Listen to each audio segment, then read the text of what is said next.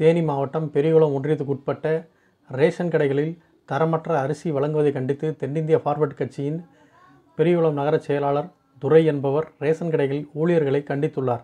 இதை ரேஷன் கடை ஊழியர்கள் பெரியகுளம் தென்கரை காவல் நிலையத்தில் துரை என்பவர் தங்களை மிரட்டுவதாக புகார் அளித்தனர். புகாரை ஏற்றுக்கொண்ட காவல்துறையினர் அரசு ஊழியர்களை பணி செய்ய விடாமல் தடுத்தல் மற்றும் கொலை மிரட்டல் விடுத்தல் ஆகிய பிரிவுகளின் கீழ் வழக்கு பதிவு செய்துள்ளனர்.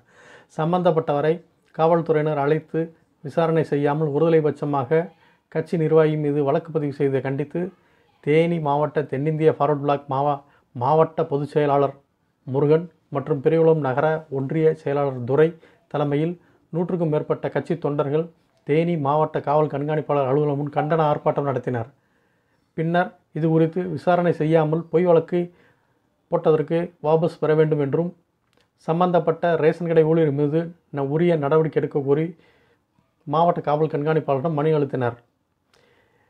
இந்த மனு மீது உரிய நடவடிக்கை எடுக்க மறுத்தால் நாளை மறுநாள் மாநிலம் தழுவிய போராட்டம் அறிவிக்கப்படும் என்று தேனி மாவட்ட பொதுச் செயலாளர் முருகன் தெரிவித்தார்.